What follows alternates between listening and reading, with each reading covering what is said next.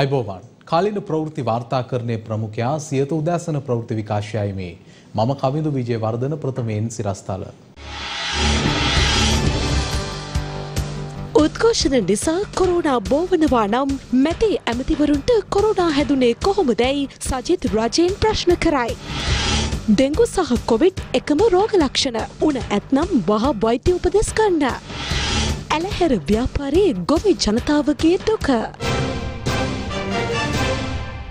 සියත ප්‍රවෘති තුළින් දැන් දේශීය පුවත්. දේශීය ගොවියා නැංවීමට පියවර ගන්නවා සේම ඖෂධ නිෂ්පාදනයද අනිවාර්යෙන්ම ශක්තිමත් කරන බව අමාත්‍ය බැසිල් රාජපක්ෂ මහතා පවසනවා. ඒ සඳහා සමහර බහන්්ඩ ආනයනය අවම කිරීමට සිදුවන බවයි අමාත්‍යවරයා පෙන්වා දෙන්නේ. රාජ්‍ය ඖෂධ නිෂ්පාදන සංස්ථාව මගින් දේශීය වශයෙන් නිෂ්පාදනය කළ ඖෂධ වර්ග දෙකක් වෙළඳපොළට නිකුත් කිරීම සිදු කෙරුණා. ඒ රත්මලාන ඖෂධ නිෂ්පාදන සංස්ථාවේදී වේදනානාශකයක් වන ට්‍රැමඩෝල් සහ තයිරොක්සින් ගුණතාවය වෙනුවෙන් භාවිතා කෙරෙන ලෙවතයිරොක්සින් යන ඖෂධ වර්ග දෙකයි මෙලෙස වෙළඳපොළට නිකුත් කෙරුණේ. එම අවස්ථාවට එක්වමින් මුදල් අමාත්‍ය බැසිල් රාජපක්ෂ මහතා ප්‍රකාශ කළේ ශ්‍රී ලංකාවේ භාවිතා කරන ඖෂධ වලින් 20ක් පමණ මේ වන විට දේශීය වශයෙන් නිපද වන අතර එය 50 දක්වා ඉහළ නැංවීම රජයේ අපේක්ෂාව බවයි. මේ රටට ගේන ඖෂධ ඖෂධ අනිවාර්යයෙන්ම රටේ ජනතාවට අවශ්‍යයි. ඒ ඖෂධ අපිට පුළුවන්ද මෙහි හදාගන්න කියලා. ඒ පරමාර්ථය වෙනුවෙන් අමුද්‍රව්‍ය වැදගත් ප්‍රමාණයක් මෙහාට ගෙන්නලා ඒවා නිෂ්පාදනය කරනවා. හොඳ තත්ත්වයක් ඇති වුණොත් ඒ කියන්නේ මෙහෙදිම ඒ අමුද්‍රව්‍ය නිෂ්පාදනය කිරීම ඒක බොහෝ සීමිත රටවල් කීපයකින් තමයි කරන්නේ. තුන්වෙනි පියවර හැටියට පරීක්ෂණ කරලා නව සොයා ගැනීම වලටත් යන්න ඉඩ තියෙනවා. අද මේ තියබ පියවර කාලයක් තිස්සේ කරගෙන ආපු එකට විශාල වේගයෙන් මේ කටයුත්තට අවතීර්ණ වෙලා තියෙනවා. අපිට තියෙන ලොකුම ප්‍රශ්නයක් තමයි විදේශ මුදල් හොයා ගැනීම. ඒ වගේම මේ බෙහෙත් වර්ග දෙකම එකක් වේදනාව නසන එකක් අනිත් එක තයිරොයිඩ් සඳහා ගන්න එකක් මෑත කාලයේදී ඒවා නිෂ්පාදන කරන ප්‍රධාන රටේ කොරෝනා වසංගතය ඇති නිසා වෙළඳ පොලේ ලොකු හිඟයක් ඇති වුණා. ඒත් අපි ලංකාවේ යම් යම් ආකාරයට යම් ප්‍රමාණයක් හරි සපයන්න පුළුවන් වුණා. දැන් නම් අපිට ප්‍රශ්නයක් වෙන එකක් නැහැ. උද්ඝෝෂණ නිසාම කොරුණා බෝවනවා නම් මහින්දානන්ද ඇතුළු මැති ඇමතිවරුන්ට කොරුණා හැදුනේ කොහොමදැයි විපක්ෂ නායක සජිත් ප්‍රේමදාස මහතා ආණ්ඩුවෙන් ප්‍රශ්න කරනවා. එතිස්ස මහරාම පැවති වැඩසටහනකට එක්වෙමින්. රජයේ මැති ඇමතිවරු ප්‍රබලයින් කියන්න හදනවා මේ කොරෝනා රැල්ල බිහි වුණේ උද්ඝෝෂණ නිසයි කියලා. එතකොට ආණ්ඩුවේ ඒ තියරිය අනුගමනය කරනවා නම් මහින්දානන්ද අලුත්ගමගේට කොරෝනා හැදුනේ අපේ උද්ඝෝෂණයකට ඇවිල්. රෝහණ දිසානායක මාතලේ පොදු පෙරමුණේ മന്ത്രിවරයාට කොරෝනා හැදුනේ මේ අපේ උද්ඝෝෂණයකට ඇවිල්. තිස්ස කුට්ටිආරච්චි පොදු ජන පෙරමුණේ മന്ത്രിවරයාට කොරෝනා හැදුනේ අපේ උද්ඝෝෂණයකට ඇවිල්. දැන් අපිට ආරංචි වීරවංශ මැතිතුමා නිරෝධායනය වෙන. ඇත්ත කතාව එතුමා කිව්වා ආකාරයට ඔය අමාත්‍යංශයේ කොරෝනා රැල්ලක් නිසා. නමුත් පොදු පෙරමුණේ තියරිය අනුව වීරවංශටත් නිරෝධායනය වෙන්න වෙලා තියෙන්නේ. ඩලස් අලහප් පෙරුමටත් නිරෝධායනය වෙන්න වෙලා තියෙන්නේ මේ අපේ උද්ඝෝෂණ නිසා. මොන විහිළුවක්ද? මග රැක සිට හෝ ලුහු බැඳ ගොස් උද්ඝෝෂකයින් පැහැර ගැනීම නීති විරෝධී බව ජාතික ජනබලවේගේ නීතිඥ සුනිල් වටගල මහතා පවසනවා. කොතලාවල පනතට එරෙහිව ආරම්භ වූ උද්ඝෝෂණ මාලාවේ දැවන්ත උද්ඝෝෂණයක් පසුගියදා පාර්ලිමේන්තු පිවිසුම සමීපයේදී පැවැත්වුණා. ඒ අන්තර්විශ්වවිද්‍යාලීය ශිෂ්‍ය බල මණ්ඩලයේ සහභාගීත්වයෙන් මෙම විරෝධතාවයන්ට සම්බන්ධ වූ පුද්ගලින් පස් දෙනෙකු පොලිසිය අත්අඩංගුවට ගනු ලැබුවා. අන්තර්විශ්වවිද්‍යාලීය ශිෂ්‍ය බල මණ්ඩලයේ කැඳවුම්කරු වසන්ත මුදලිගේ සහ ශ්‍රී ජයවර්ධනපුර විශ්වවිද්‍යාලයේ මහා ශිෂ්‍ය සංගමේ සභාපති අමිල සන්දීපද ඊට ඇතුළත්. අන්තර්විශ්වවිද්‍යාලීය ශිෂ්‍ය බල මණ්ඩලයේ කැඳවුම්කරු වසන්ත මුදලිගේ මිරිහාන පොලිසිය විසින් අත්අඩංගුවට ගනු ලැබුවේ රත්මලාන ප්‍රදේශයේදී. ඒ රාජ්‍ය දේපළවලට අනර්ථ කිරීම ඇතුළු චෝදනා කිහිපයක් මුල් කර ගනිමින් මෙම අත්අඩංගුවට ගැනීම සම්බන්ධයෙන් ජාතික ජනබලවේගේ නීතිඥ සංවිධානය අද මෙලෙස අදහස් පළ කළා. පොලිස් දෙපාර්තමේන්තුව අලුත් සෙල්ලමක් පටන් අරන් තියෙනවා. මගරැකලා ඉඳලා එහෙම නැත්නම් ලුහු බැඳ ගිහිල්ලා උද්ඝෝෂණකරුවන්ව ඊට සම්බන්ධ වෙච්ච තැනැත්තන්න අත්අඩංගුවට ගන්න ස්වභාවයක් තියෙනවා. එම අත්අඩංගුවට ගැනීම අතිශය නීති විරෝධී. නීතිඥවරයෙකුටත් මේ අත්අඩංගුවට ගැනීම පිළිබඳව මැදිහත් වෙලා තම සේවාදායකයාට නීති උපදෙස් ලබා දීමේ හැකියාවක් මේක තුල නැහැ. පොලිසිය ක්‍රියාත්මක වෙන්නේ ආණ්ඩුවේ උමනාවට. අපි ආණ්ඩුවට කියනවා මේ ක්‍රියාවලිය නතර කරන්න පොලිසියට අපි කියනවා මේ ක්‍රියාවලිය නතර කරන්න කියලා. පොලිස් දෙපාර්තමේන්තුව හෝ නීතිපති දෙපාර්තමේන්තුව ඉන්නේ ආණ්ඩුව කියන වැඩේ කරන්න නෙවෙයි.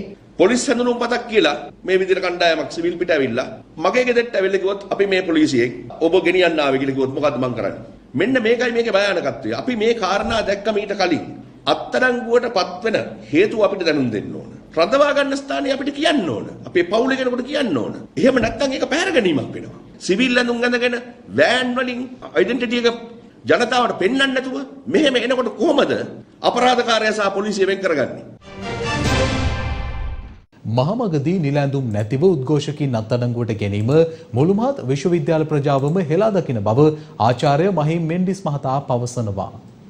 අන්තර් විශ්වවිද්‍යාල ශිෂ්‍ය බල මණ්ඩලේ කැඳවුම් කරු ඒ මුදලිගේ අපේ සිසුවා සම්බන්ධව ඒ කරපු හිරිකිත ඒ ක්‍රියාවලිය සම්බන්ධව මේ රටේ පොලිසිය ආරක්ෂක අමාත්‍යංශය අමාත්‍යවරයා සහ මුලින්ම වගකිව යුතුයි. රටේ ප්‍රජාතන්ත්‍රවාදය ආරක්ෂා කරන්නට ඉදිරියට පිය නගපු ඒ වසන්ත මුදලිගේ ඒ සිසුවා හොරෙකු විදියට සලකලා අපරාධකාරයෙකු විදියට සලකලා ඒ කරන්නට ගිය ක්‍රියාවලිය මුළු මහත් විශ්වවිද්‍යාල ප්‍රජාව සහ මුලින්ම හෙලා දකිනවා. මේ විදිහට මිනිස්සු අත්අඩංගුවට ගන්න පැහැරගන්න පුළුවන් මර්ධනකාරී ප්‍රජාතන්ත්‍ර විරෝධී ආණ්ඩුවකට පමණයි. ඒ නිසා මේ රටේ විශ්වවිද්‍යාල බුද්ධිමතුන් විදිහට විශ්වවිද්‍යාල ශිෂ්‍යයන්ට උගන්වන ආචාර්ය මණ්ඩලයේ විදිහට අපි මේ අත්අඩංගුවට ගැනීම ඊටාම පිළිකුලෙන් යුතුව හෙලා දකිනවා සහ ආණ්ඩුවට බල කරලා කියා සිටිනවා වහාම මේ ශිෂ්‍යාව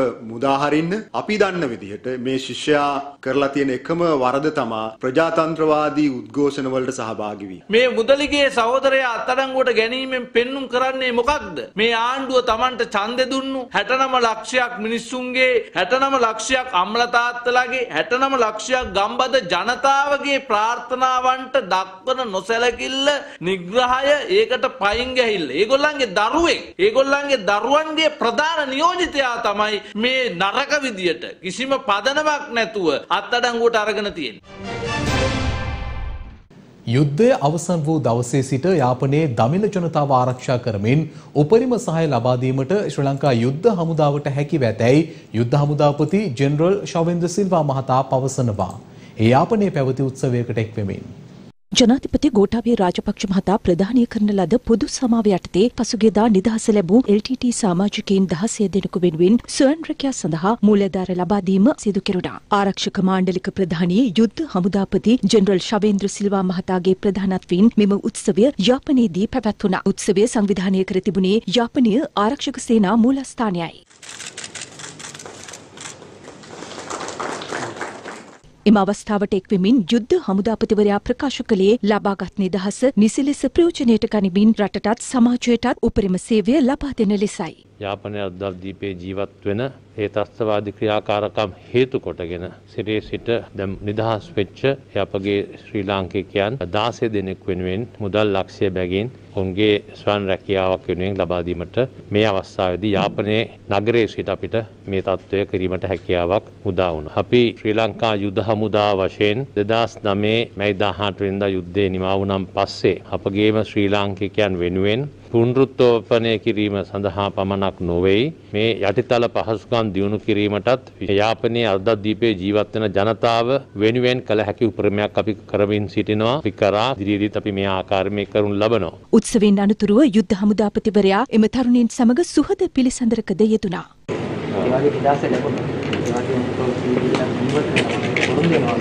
ඕකට්ටිය තමයි පළවෙනි කණ්ඩායමක් වශයෙන් ආවේ සමාජයට රටට පළාතට යාපනයට හොදක් කරන ආකාරයේ ජීවත් වෙනවා. හොඳ පුරයක් ඒක තමයි වැදගත්. යුද හමුදාවේ අපිට කරන්න පුළුවන් ඕන දෙයක් තියෙනවා නම් මොකට ඒක ගෙදරක් හදලා දෙන්න දෙයක් තියෙනවා නම් හරි වෙනත් දෙයක් තියෙනවා නම් අපිට කරන්න පුළුවන් ඕන උදව්වක් අපි කරන්න සූදානම් ඔකට්ටිය අපේම රටේ ජනතාව අපිට විරුද්ධව සටන් කරා. අපි ඒවා අමතක කරලා දාලා නොගිහින් යන තත්ත්වයට ඇති උනේ. අපේ රටේ ජනතාව වශයෙන් අපි දැන් ඔකට අපේ සහෝදර සහෝදරියන් හැටියට සලකන්නේ අපි කිසිම වෙනසක් නැහැ. අපිට ඕනේ ඔය කට්ටිය ඒ තත්ත්වෙ මිදිලාම ඔය කට්ටියට හොඳ පරිසරයක් හෙට දවසේ ඇති කරලා දෙන්න තමයි අපේ අවශ්‍යතාවය.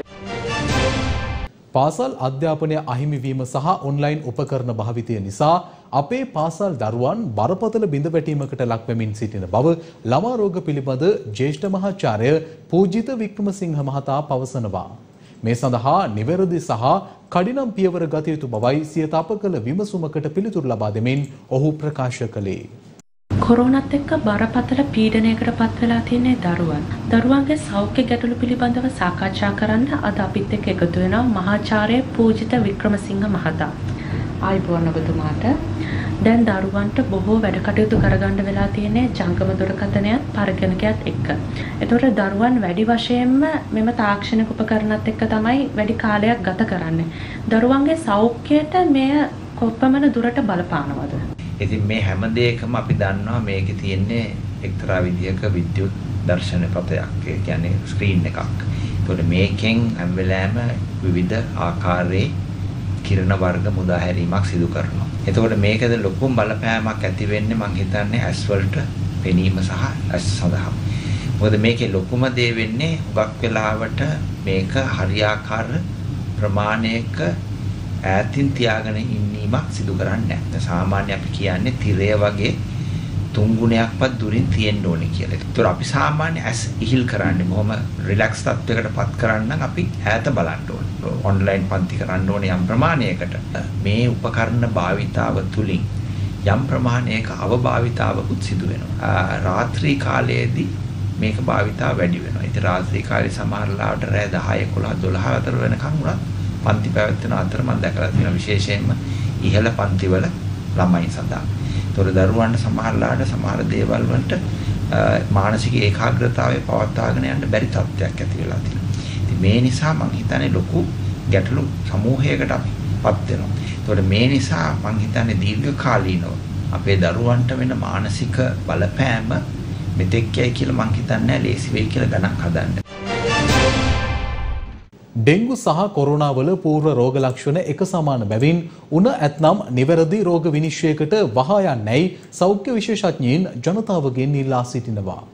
රටපුරා ව්‍යාප්තව පවතින කොවිඩ් වෛරසය හේතුවෙන් මේ වන විට ආසාධිතයින් දැඩි ලෙස ඉහළ යමින් රෝහල් ධාරිතාව ඉක්මවා යමින් පවතින වකවානුවක තවත් අභියෝගයක් එල්ල කරමින් ඩෙංගු වෛරසය රටපුරා හිස ඔසවමින් පවතිනවා. ඩෙංගු වෛරස ව්‍යාප්තිය පාලනය නොකළහොත් රටපුරා ඩෙංගු ආසාධිතයින් ඉහළ යාම රටේ රෝහල් පද්ධතියටද අභියෝගයක් වනු ඇති බවයි සෞඛ්‍ය අංශ පවසන්නේ. කලින් මාසවල සාමාන්‍යයෙන් 600ක් වගේ වුණු රෝගීන් සංඛ්‍යාව සතියකට මේ වන විට 800 ඉක්මව ගොස් තිබෙනවා. ඒ අනුව අපිට ඉදිරියේදී මෙම රෝගයේ වැඩිවීමක් බලාපොරොත්තු වෙන්න පුළුවන්. මේ වෙනකොට ලංකාවේ සියලුම දිස්ත්‍රික් වලින් රෝගීන් 17134ක් පමණ වාර්තා වෙලා තියෙනවා. මේ රෝගීන්ගෙන් 60ක් පමණ වාර්තා වෙලා තියෙන්නේ බස්නාහිර පළාතේ. ඒ වගේම ජූලි මාසයේ විතරක් ගත්තහම 67ක් පමණ රෝගීන් අයිති වන්නේ බස්නාහිර පළාතේ. මදුරුවන් මගින් බෝවෙන මෙම වෛරස් වර්ග ප්‍රභේද හතරම සමාජයේ දැන් අපිට දකින්නට ලැබෙනවා. ඉතින් ඒක ඊටාම අවදානම් තත්වයක්. ප්‍රභේද හතරම එකවර තිබීමෙන් අපිට පසක් වෙනවා. වසංගත තත්ත්වයන් බොහෝ ඇති වෙන්න පුළුවන්. ඒ වගේම එක පුද්ගලයා තව මාස කිහිපයකට පස්සේ වෙනත් වෛරස් ප්‍රභේදයකට ගොදුරු වෙන්න පුළුවන්. ගොදුරු වෙලා ඩෙන්ගු රෝගයේ කීපවරක් හැදීමේ අවදානමක් තියෙනවා. කෙනෙකුට උණ ගත්තොත් ඉස්සෙල්ලාම හිතන්න ඕන මේක ඩෙන්ගු රෝගයද කොවිඩ් රෝගී තත්ත්වයක්ද කියලා. මේ දෙකම එක හා සමානව භයානකයි. මේ රෝගවල මූලික රෝග ලක්ෂණ සමානයි. කෙනෙකුට උණ රෝගය හැදුනොත් ඉස්සෙල්ලාම හිතන්න ඕන මේක කොවිඩ්ද එහෙම නැත්නම් මේක ඩෙන්ගුද නිසි පරීක්ෂාවකට යොමු වෙලා අනවශ්‍ය බියක් ඇති කරගන්න ඕනි නැහැ ප්‍රතිකාර සඳහා යොමු වීමෙන් අපිට පුළුවනි ඒ තනත්තන්ගේ ජීවිත ආරක්ෂා කරන්න. අද දවසේ උණ ගන්න හැමෝම එක්ක තියෙන්නේ කොවිඩ් එක්ක තියෙන්නේ ඩෙන්ගු හැංගිලා ඉන්න එපා මේ දෙකටම ප්‍රතිකාර තියෙනවා. මෙම රෝගය පාලනයකින් තොරව පැතිරුණොත් රෝහල් පිරීතිරය යනවා ඊට අමතරව මරණ සංඛ්‍යාවත් වැඩි වෙන්න පුළුවන්. මේ රෝගය ව්‍යාප්ත කරන ඒ වාහක මදුරුවන් බෝවීම වැළැක්වීම අපේ අතේ තියෙන දෙයක්. දැනුවත්ව හෝ වගකීමෙන් තොරව වැඩ කරන නිසා අප විසින්ම මෙම වාහක මදුරුවන් බෝවීමට කටයුතු සලස්වල තියෙන නිසා තමයි බලමුකොට මේ අපේ රටේ සිද්ධ වෙන්නේ. මේ ව්‍යසනකාරී තත්ත්වය හමුවේ කොවිඩ් වෛරසයෙන් ආරක්ෂාවීමට ඔබ කටයුතු කරනවා සීම ඩෙංගු ව්‍යාප්තිය පාලනය කිරීමට ඔබ අවට ඇති. ඩෙංගු මදුරුවන් බෝවන ස්ථාන විනාශ කර දමමින් රට වෙනුවෙන් ඔබ වෙනුවෙන් ඔබේ පවුල දරුවන් වෙනුවෙන් ඔබේ වගකීම ඉටු කරන්න.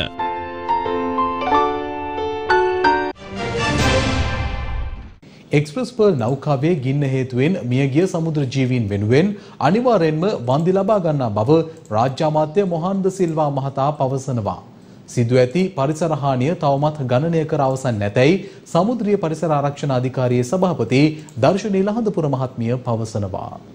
එක්ස්ප්‍රස් පර්ල් නෞකාව හේතුවෙන් පරිසරයට සිදු වූ හානිය පිළිබඳ සාකච්ඡාවක් පැවැත්වුණා. පරිසර සංවිධාන සහ සමුද්‍රීය පරිසර ආරක්ෂණ අධිකාරිය අතරයි මෙම සාකච්ඡාව පැවැත්වුණේ. සමුද්‍රීය පරිසර ආරක්ෂණ අධිකාරියේ සභාපතිනි දර්ශනී ලහඳපුර සහ විශේභාර රාජ්‍ය අමාත්‍ය මොහන්ද සිල්වා යන මහත්ම මහත්මීන් ඇතුළු පිරිසක් මෙම අවස්ථාවට එක් වුණා. අත්සයෝ කැස්බෑවුම් මිය ගියා. අනතුර නිසා ඒ මියගිය සතුන් වෙනුවෙන් උපරිම වන්දි ප්‍රමාණයක් අපි ගන්න ඕනේ. එතකොට මින් පස්සේ අරයෝ නැව් සමාගම් මුහුදේ වෙන ක්‍රියාකාරකම් කරන අය ඒ සම්බන්ධයෙන් සැලකිලිමත් වෙවි. අපි උපරිම උත්සාහයක් දරනවා ඒ සතුන් මිය යාම සම්බන්ධ උපරිම වන්දි ප්‍රමාණයක් ගන්න අවශ්‍ය කටයුතු කරගෙන යනවා. අනිවාර්යෙන් මේ වන්දි අපි ලබාගෙන කටයුතු කරනවා. වන්දි ලබා ගැනීම විතරක් මදි. ඒ ලබා ගන්න වන්දි මුදලින් අපි මෙම හානිය ප්‍රතිෂ්ඨාපනය කිරීම සඳහා ඉතාමත් විද්‍යාත්මක දේශීය සහ අන්තර්ජාතික සහාය තාක්ෂණය ලබාගෙන විද්‍යාත්මක ප්‍රතිෂ්ඨාපනය කිරීමේ ක්‍රමවේදයකට යා යුතුයි. පිට දිනපතාම යම්කිසි ප්‍රමාණයකට සුළු ප්‍රමාණයකට ප්ලාස්ටික් නර්ඩල්ස් පරිසරය එකතු වෙනවා. අපි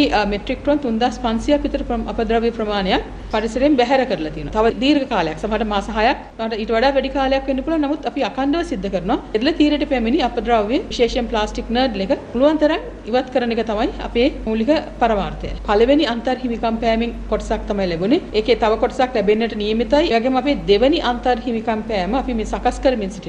මේ අපි ඉල්ලන්නේ අපිට වියදම් වූ මුදල් සහ අපේ දීවර ජනතාවට වෙච්ච පාඩුව. තවම අපි එකතු කරලා නැහැ පරිසර හානිය. පරිසර හානියට ගණන් වන්දි අපි තම ගණනය කරනවා. ඒක ගණනය කරලා ඉදිරියේදී තමයි ඒක ඉල්ලන්න බලාපොරොත්තු වෙන්නේ. ඇලහැර ව්‍යාපාරයේ ගොවි ජනතාව මෙවර යලකන්නේ සඳහා ජලය නැතිව දැඩි අසීරුතාවයකට පත්ව ඇති බව වාර්තා වනවා. ජලය නැතිකම නිසා කුඹුරු හෙක්ටයාර එකසිය දහතුනකට වැඩි ප්‍රමාණයක් විනාශවමින් පවතින බව වාර්තා වනවා. ඇලහැර ව්‍යාපාරයේ ගොවියන් මොරගහකන්ද ජලාශය යටතේ මහවැලි ජලයෙන් වගා කටයුතු කරනවා. පොළොන්නරුව දිස්ත්‍රික්කයට අයත් මේ ගොවියන් යල මහ දෙකන්නේම කුඹුරු හෙක්ටයාර් දාසය දාහක් පමණ අස්වද්දනවා. මෙවර මොරගහකන්ද ජලයෙන් වී වගාව ආරම්භ කර ඇති රදවිගේ ඔය සහ ජඹුරේවෙල ගොවි සංවිධානවල ගොවියන්ට ප්‍රමාණවත් ලෙස ජලය නැති බවයි වාර්තා වන්නේ. මේ නිසා තමන්ගේ කුඹුරු මිය යමින් පවතින බව ඔවුන් පවසනවා. ඔය අදාළ නිලධාරීන්ට කිව්වා. ඊයන් ඕනට කිව්වා. ඔය ඉන්න හැමෝටම කිව්වා. හරි හරි ඕන් කියන මේ මිනිස්සු පොතෙන් පතෙන් මෙහෙම කරනවා. 86 කොහෙද ඉඩම් දුන්නේ. මේ වෙනකන් අපිට මේ මේ මේ ඉර නම තමයි සදාකල්ම. වාරි මාර්ග දෙපාර්තමේන්තුවේ දෙපාර්තමේන්තුවේ මහවැලි අධිකාරිය නිලධාරීන් කියනවා දැන් වතුර දීලා ඉවරයිලු. අපේ ගොයන් මේ මහත්තයෝ බලන්න මේවා මේ පීදිලා දැන් කිරට නමාගෙන එන්නේ. මේ තියෙන ගොයන් ටික කපාගෙන අපේ ළමයින්ට කැඳවත් දෙන්න ඕනේ මහත්තයා. මේ අහිංසක ගොයියන්ගේ වතුර ටික දීලා මේ පස්සගත්ත ගොයන් ටික පස්සලා දෙන්න කියලා අපි ඉල්ලා සිටින්නේ. වහාම මැදිහත් වී Tamanට විසඳුමක් ලබා දෙන්නයි ගොවීන් බලධාරීන්ගෙන් ඉල්ලා සිටිනවා. අපිට මාස එකහමාරක් ගියාට පස්සේ මෙහාට වතුරෙන්නේ. මේ කුඹුරු ඇලේ අගාවටම කුඹුරු. දැන් මේකත් එක්ක කුඹුරුණක් නැරිලා තියෙනවා. දැන් අපි කුඹුරුට ආපු දා ඉඳලා ඇගිලි තමා කන්නේ. ඒ වතුර ටික ඕනේ අපිට. දැන් මේ තියෙන ටිකවත් බේරගන්න වතුර ඕනේ අපිට. මේ බලන්න ගොයන් වල දෙන්න මෙහෙම කරලා පුළුවන් ද කියලා බලන්න අපි දරුවෝ ගානන් ජීවත් කරන්න. ඔයගොල්ලන්ට මේ ඡන්දයක් දෙනවා නම් ඔක්කොම දෙනවා නම් ඇයි අපිට කුඩම්මගේ සැලකිලි සැලකන්නේ? සියත උදෑසන ප්‍රවෘත්ති විකාශය මින් නිමාවට පත්වනවා වැඩිදුර තොරතුරු සඳහා පිවිසෙන්න www.siyathanews.lk අපගේ වෙබ් පිටුව වෙත. අප යළිත් හමුවන්නේ අපගේ මධ්‍යහන ප්‍රවෘත්ති විකාශයෙන්. ඔබට සුබ දවසක්. දිනපතා අලුත් වීඩියෝ සහ ප්‍රවෘත්ති නැරඹීමට ඉහත බටන එක ක්ලික් කර සියත TV සබස්ක්‍රයිබ් කරන්න.